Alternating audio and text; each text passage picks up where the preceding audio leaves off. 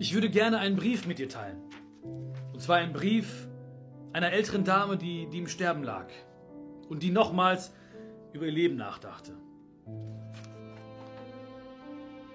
Könnte ich mein Leben nochmals leben, dann würde ich das nächste Mal riskieren, mehr Fehler zu machen. Ich würde mich entspannen, lockerer und humorvoller sein als dieses Mal. Ich kenne nur sehr wenige Dinge, die ich ernst nehmen würde.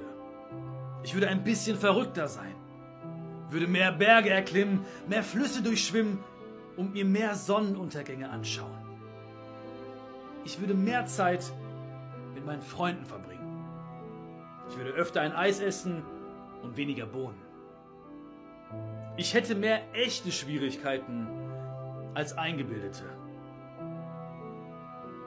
Müsste ich es noch einmal machen, ich würde einfach versuchen, immer nur einen Augenblick nach dem anderen zu leben.